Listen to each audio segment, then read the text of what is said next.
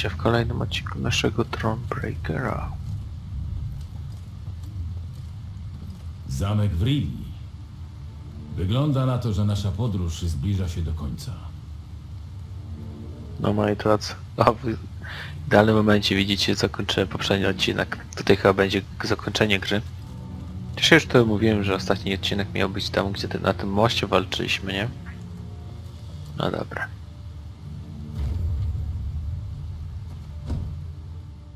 Lyryjczycy dotarli pod mury zamku w Liwii.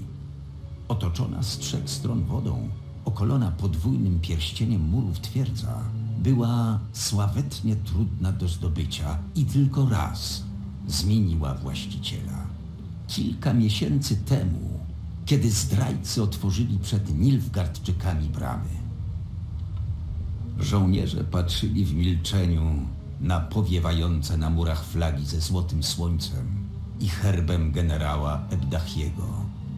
Uleciało uniesienie, spowodowane ostatnimi zwycięstwami, ucichły przechwałki. Wiedzieli, że jeśli królowa da rozkaz do ataku, większość z nich zginie, nim wzejdzie słońce. Pani, Odezwał się Reinhard. nie musimy od razu uderzać. Czas jest po naszej stronie. Odetniemy zamek od zaopatrzenia i po paru miesiącach Nilfgardczycy albo sami skapitulują, albo na tyle osłabną, że nie będą w stanie obsadzić murów. Re...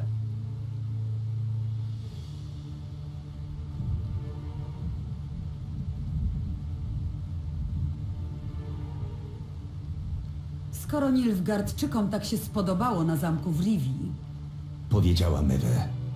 to niech tam sczezną. Reinhard, ustaw posterunki na drogach łączących twierdzę z miastem, a ty, Gaską, zarekwiruj wszystko, co tylko pływa i zablokuj ich od strony wody. Ruchy, ruchy!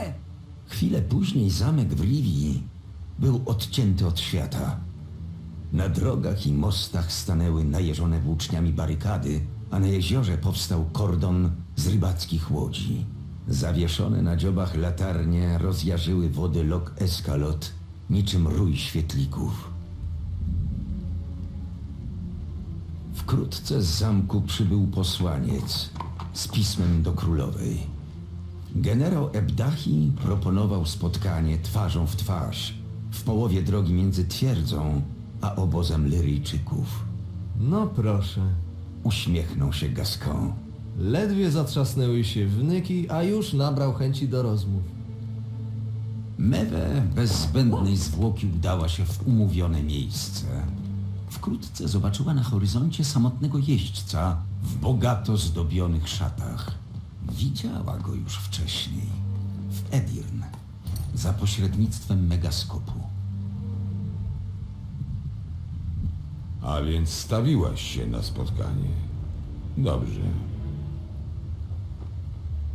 Ja skoczę a, a, Ardal Ebdachi.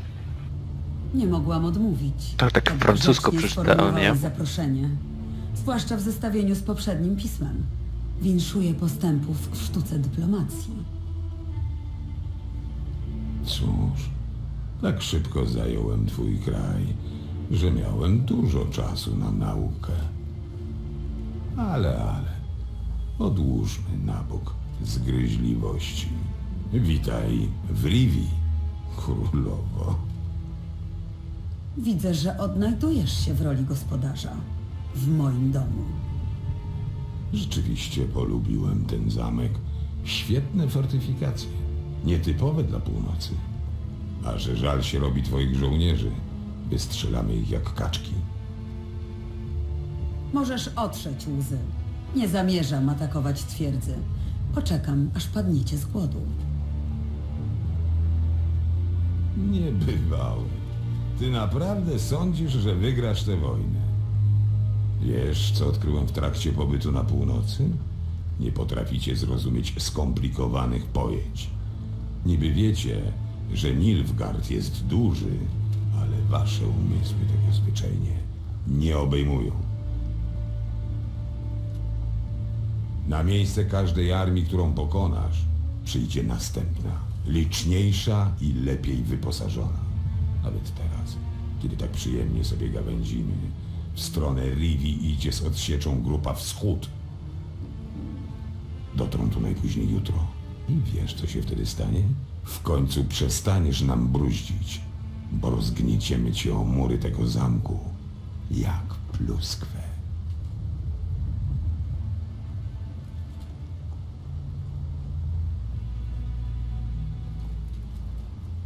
Chędosz się. Tyle masz do powiedzenia? Wolę czyny od słów. Jutro się o tym przekonasz. Wątpię. Wątpię, czy w ogóle dotrzesz pod mury zamku. Módl się, żeby tak było, bo jeśli spotkam cię na polu bitwy, zatłukę gołymi rękoma. Nie czekając na odpowiedź generała Ebdachiego, Mewe obróciła się na pięcie i ruszyła w stronę obozu. Szybkim krokiem i z ciężkim sercem.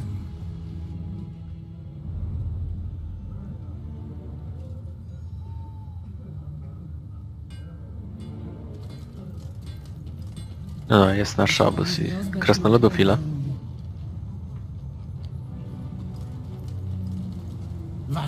Świętej pamięci małżonek chyba coś sobie kompensował, budując ten zamek.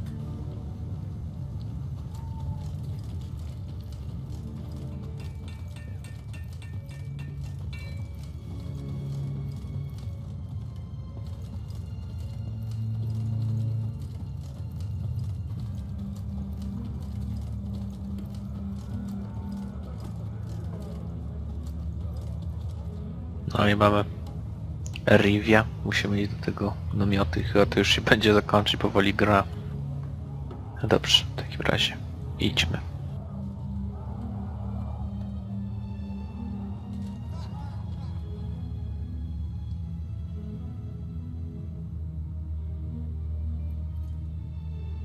Najbliżsi doradcy Mewe czekali już w namiocie narad.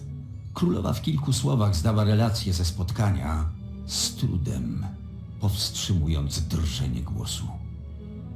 Od zachodu rzeczywiście nadciąga ogromna armia. Jeśli dojdzie do walki na otwartym polu, zmiotą nas z powierzchni ziemi. Szlak. Czemu nikt nie... Musieli pojmać naszych zwiadowców. W takim razie ucieknijmy. To mało heroiczne, zgoda, ale lepsze to niż przegrać. Problem w tym, że nasza armia to w większości piechurzy, a oddział, który tu nadciąga, ma kilka pułków samej kawalerii. Nie uciekniemy przed nimi, ani się nie schowamy. To co sugerujesz? Mamy dwie opcje. Poddać Nie ma mowy. albo zdobyć zamek w Rivi i to jeszcze tej nocy.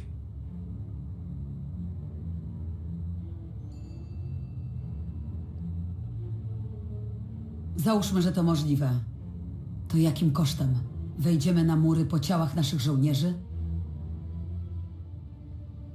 Jest wojna, ludzie giną, ale kazać żołnierzom atakować ten zamek, to jak skazać ich na śmierć. Zgadzam się, nie zdobędziemy murów Rivi, ale to nie jedyny sposób, żeby zająć twierdzę. O, robi się ciekawie. Znam ten zamek lepiej niż własny dom. Ma jedną słabość. Przystań. Czekaj, czekaj. Mówisz o tym pomoście między basztami, gdzie przybijali rybacy? Właśnie, jak zapewne pamiętasz, królowo, od wnętrza twierdzy oddzielają go tylko małe, wąskie drzwi. Niewielki oddział byłby w stanie się do nich przekraść, obezwładnić straże i wejść do środka. A potem? Musiałby przebić się na drugą stronę zamku, dostać do kołowrotu i otworzyć bramy dla reszty armii. Szczerze? Brzmi jak samobójstwo. Wiem, ale to nasza jedyna nadzieja. Czyli co? Mam wysłać ludzi na pe... Nie musisz, pani. Sam zgłaszam się na ochotnika. I wezmę tylko tych żołnierzy, którzy wyrażą taką gotowość. Fatalny pomysł. Nie wątpię, że masz lepszy. Niskie szanse na powodzenie. Pewnie, że tak. Ja się tego podejmę. Słucham? Spójrzmy prawdzie w oczy. Reinhard, skradać to ty się nie umiesz. W całym tym żelastwie brzdękasz jak tambury. Poza tym jesteś prawą ręką Mewe. Kiedy zacznie się bitwa, powinieneś być przy niej.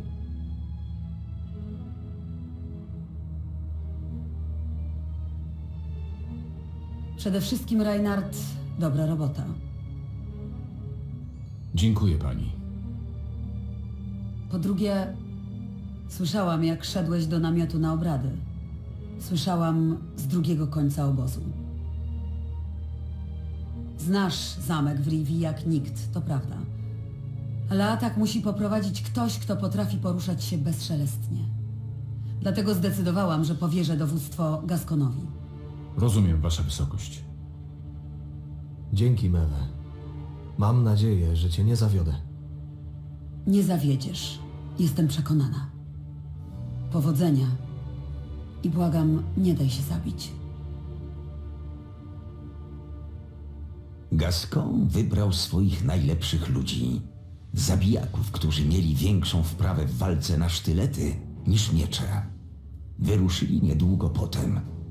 Płynęli po ciemku, kierując się w stronę rozmytych mgłą świateł zamku. Mewe odprowadzała łodzie wzrokiem. Dudniło jej w uszach. Od powodzenia tej misji zależało wszystko. Los jej królestw, a może i całej północy. Życie jej i wszystkich żołnierzy. Powodzenia. Wyszeptała, wpatrzona w spowite mrokiem mury twierdzy.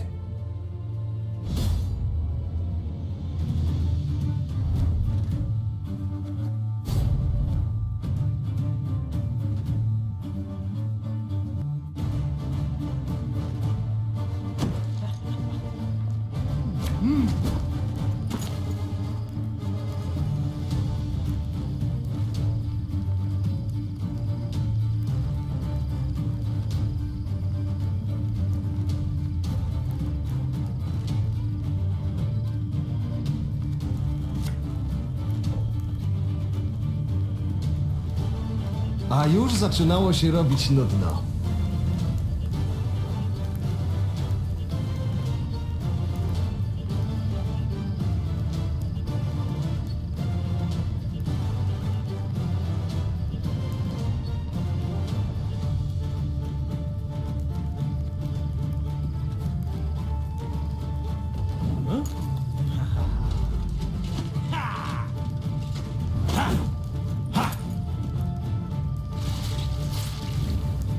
Mamy robotę, to zbychajcie ich z muru!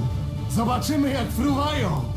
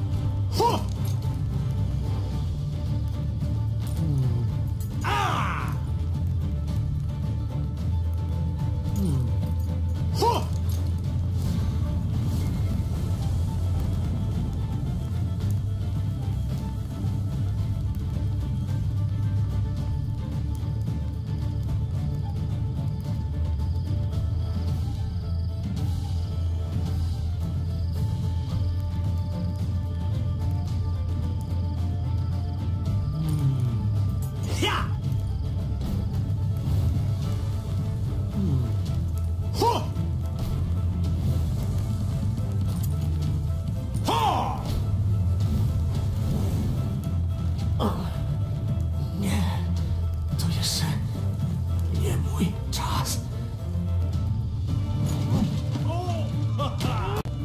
Lyryjczycy przygotowywali się do ataku w absolutnej ciszy. W ciemności rozświetlonej jedynie bladym blaskiem księżyca. Mewe nie mogła usiedzieć w miejscu. Chodziła w kółko, czekając na umówiony sygnał. Cholera, długo to trwa. Za długo. Wreszcie dostrzegła na murach ledwie widoczny ognik pochodni. Błysnęła szybko trzy razy, po czym zgasła. Mewe aż podskoczyła, z trudem dusząc wzbierający krzyk radości. Udało się. Udało. Chwilę później z za linii drzew wyległy setki żołnierzy. Obrońcy zaczęli ładować katapulty i balisty. Powoli, metodycznie. Wiedzieli, że nie muszą się śpieszyć, że nic im nie grozi. Mury rifskiej twierdzy były wszak nie do zdobycia. Nagle zgrzytnęły łańcuchy i... Nilfgardczycy ze zdziwieniem patrzyli, jak brama otwiera się przed atakującą armią. Esseis! Ach, Quanen Lyrien! Już wcześniej królowa miała opinię świetnej wojowniczki, ale tej nocy stała się legendą. Jej miecz bezbłędnie znajdował szczeliny między płytami czarnych zbroi. Jej tarcza odbijała najpotężniejsze ciosy. Z początku nilfgaardcy żołnierze szukali królowej na polu bitwy. Wkrótce zaczęli uciekać. Ratreut! Ratreut! Co wstąpiło w mewę? Oczywiście chciała odbić swój zamek i królestwo, przegnać Nilfgardczyków, pokonać aroganckiego generała Ebdachiego. Ale w tej chwili nade wszystko pragnęła jak najszybciej przebić się do baszty i uratować oddział Gaskona. Za mną! Ruchy, ruchy!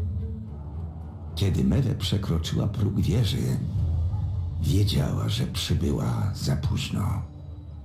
Ludzie Gaskona leżeli zmasakrowani w kałużach krwi. On sam wisiał przewieszony przez kołowrót. Trzy strzały wystające z piersi unosiły się z każdym nierównym oddechem. Mewe zdarła z pleców płaszcz i rzuciła się tamować krwawienie. Zaraz będzie pomoc, nie waż mi się umierać. Przecież wiesz, wychrypiał Gascon. Zawsze lubiłem robić ci na przekór. Medycy, którzy byli już na schodach wieży, usłyszeli przeciągłe wycie. Kiedy wbiegli do komnaty, zastali królową na kolanach, bijącą dłońmi o ścianę, zalaną łzami. Gascon leżał obok bez ruchu, okryty płaszczem. Królowa wstała z zaciśniętymi pięściami. Na jej twarzy nie malowała się już rozpacz ani żal, tylko bezgraniczna wściekłość. Mówiła przez zęby z trudem, zachowując spokój. To nie czas na żałobę, Powiedziała: tylko na walkę, na zemstę, na zabijanie. Jeśli wygramy dziś, wygramy wojnę. Odzyskamy wreszcie nasze rodziny i domy. Odłożymy na bok miecze. Ale teraz, teraz muszą spłynąć krwią Nilfgardczyków. Leryjczycy byli u skraju sił. Przeszli z Mewę tysiące kilometrów przez góry, śniegi i bagna. Stoczyli dziesiątki bitew. Ale królowa widziała w ich zmęczonych oczach, że pójdą za nią, choćby w ogień. Pani, Nilfgaardczycy zabarykadowali się na górnym zamku. Próbowaliśmy zdobyć mury, ale bez skutku. Mewe kiwnęła głową, zrobiła mieczem młynka i wskoczyła na konia. To spróbujemy jeszcze raz.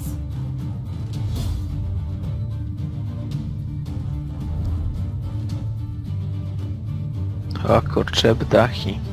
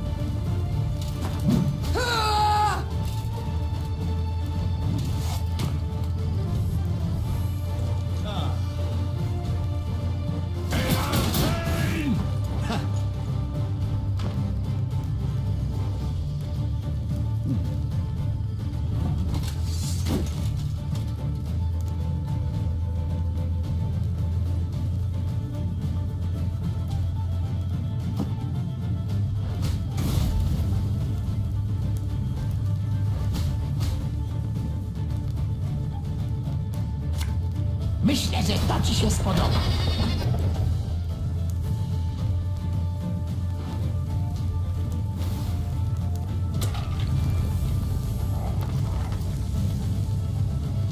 Wskaż mi cel. Kompania, naprzód marsz!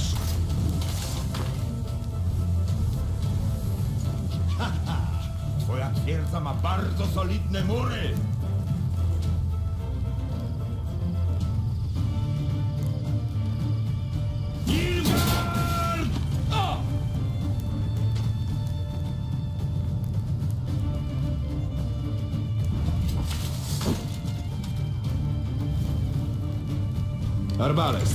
Twój rozkaz.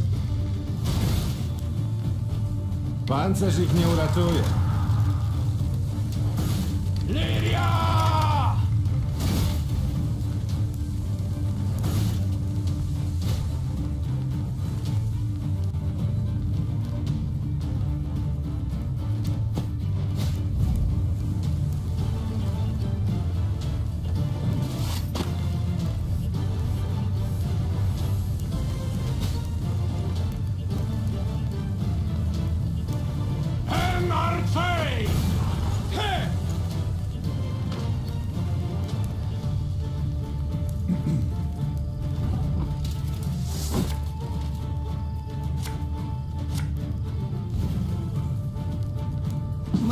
Marnuje się w wojsku.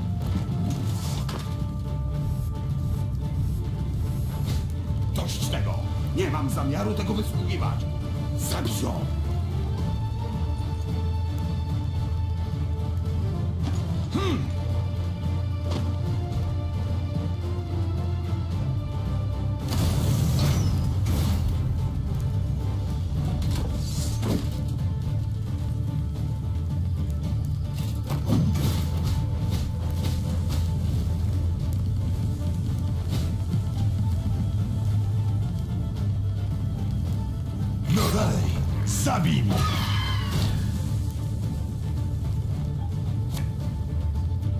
Wystarczy jeden strzał.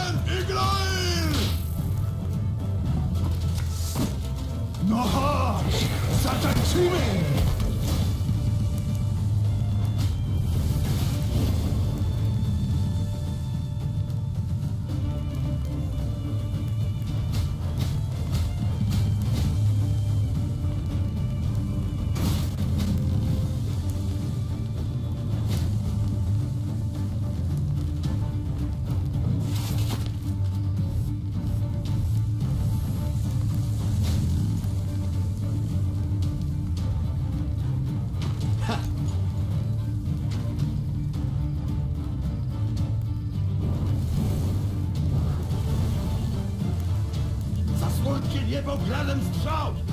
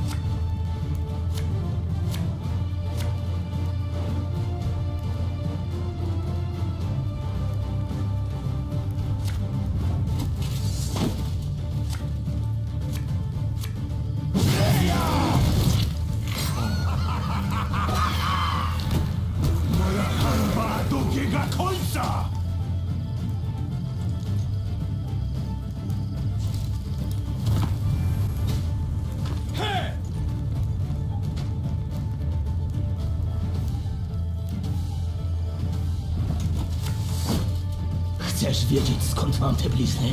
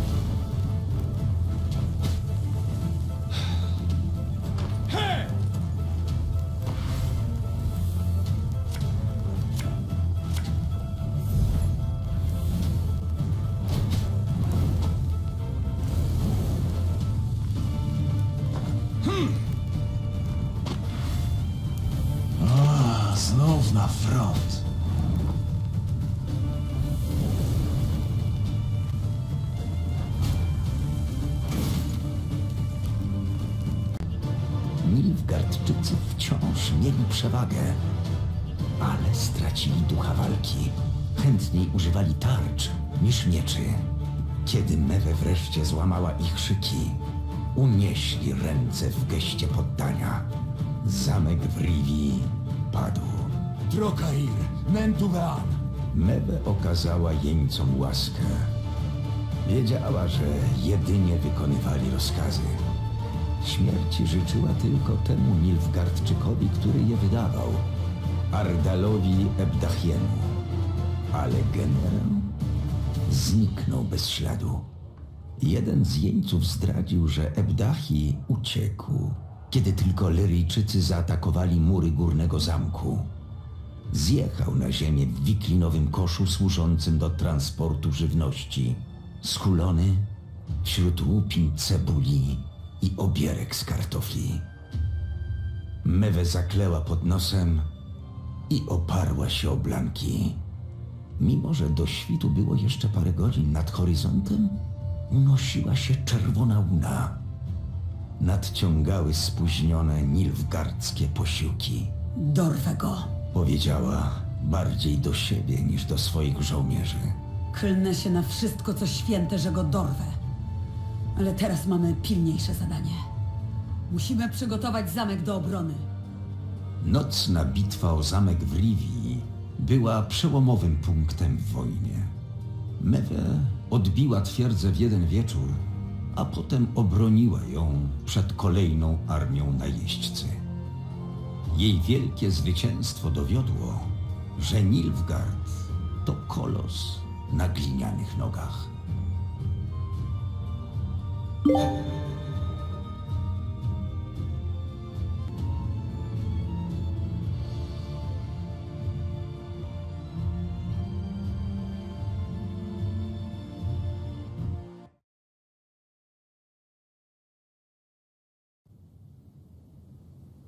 Zjednoczone armie północy atakowały ze wszystkich stron. Cesarskie wojska, choć wciąż liczniejsze, były rozciągnięte na liczącym tysiące kilometrów froncie. Nilfgaardczycy wiedzieli, że nie utrzymają tej pozycji długo. Postanowili więc wydać decydującą bitwę, którą przegrali z Kretesem. Kilka miesięcy po wydarzeniach w Rivi cesarska armia była więc w rozsypce. Jednym z ostatnich gniazd oporu była twierdza Aldersberg. Tam właśnie zaszył się generał Ebdachi wraz z niedobitkami Grupy Wschód.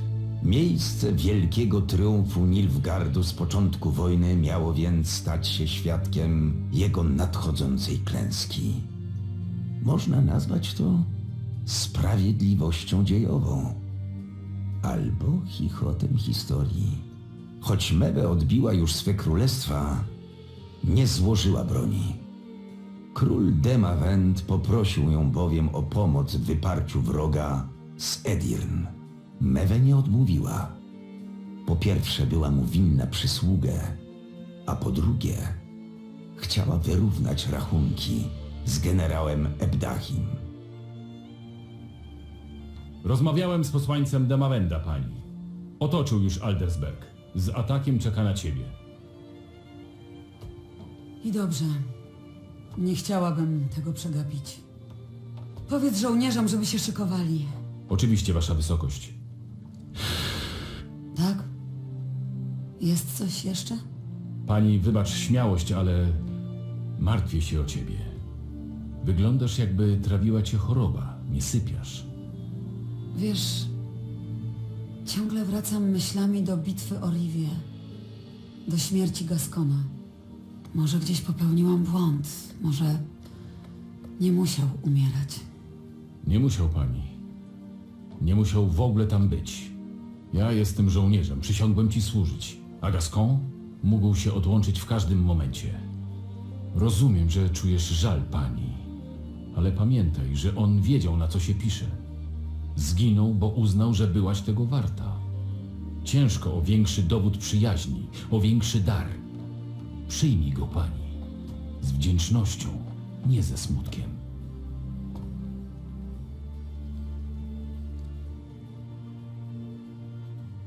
Zgadza się, ciężko o większy dar.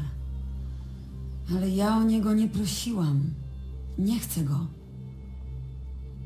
Nie wiem już sama, ilu ludzi oddało za mnie życie. Tysiące, dziesiątki tysięcy.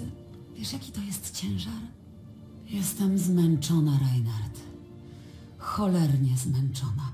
Dość gadania. Ruszajmy do Aldersbergu.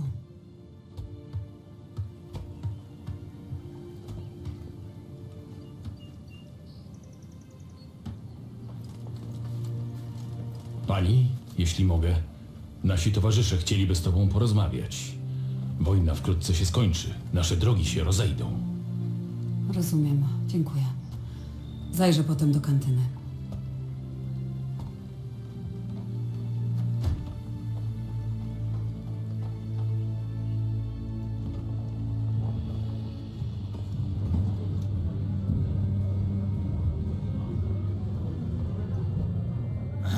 Co tym razem?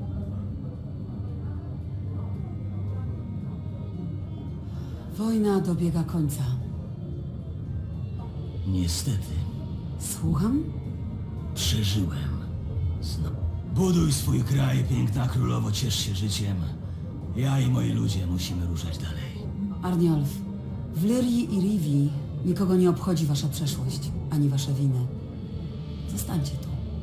A co potem? Co powiemy przodkom, kiedy przyjdzie czas?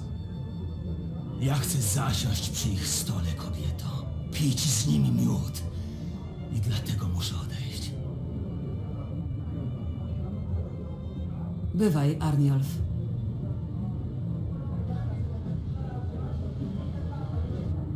Tak? Wojna dobiega końca.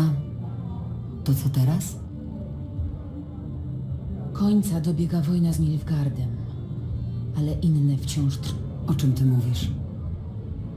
W lasach cały czas ukrywają się niedobitki z Kojatyl. Tak, ale słyszałam, że się wycofują, idą na wschód. Czemu po prostu im na to nie pozwolić?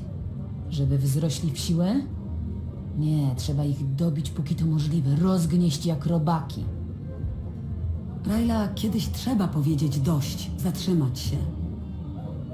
Ja się zatrzymam w grobie, nie wcześniej. Pora na mnie. Bywaj.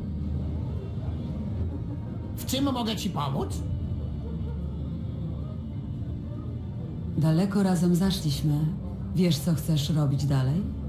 Ech, no cóż, wygraliśmy wojnę, to zawsze cieszy, ale mam jeszcze sporo do zrobienia. Tyle pytań wciąż jest bez odpowiedzi, tyle wynalazków czeka na odkrycie. Być może zechciałbyś odkrywać je na moim dworze. Wiesz, y, że cię lubię, królowo, ale to nie dla mnie. Kocham wolność. Poza tym mam złe wspomnienia z czasów, kiedy pracowałem na dworze króla Niedamira. Swoją drogą ciekawe, czy udało im się wtedy ugasić ten pożar. Rozumiem. Gdybyś kiedyś zmienił zdanie, wiesz, gdzie mnie szukać. Dziękuję za wszystko. Muszę iść. E, co? Ach, przepraszam. Jeszcze tu jesteś? Tak, wasza wysokość? Wojna zbliża się do końca. Co zamierzasz... z- Co rozkażesz pani? Tak, Tak? rzecz w tym, że nie chcę ci już rozkazywać. Czyli życzysz sobie, żebym opuścił dwór, wasza wysokość? Nie, Reinhard. Pamiętasz naszą rozmowę przy ognisku w Angren? Chcę, żebyś został. Ale nie chcę być już dla ciebie tylko królową. Rozumiesz? Tak. Mewe. Pora na mnie.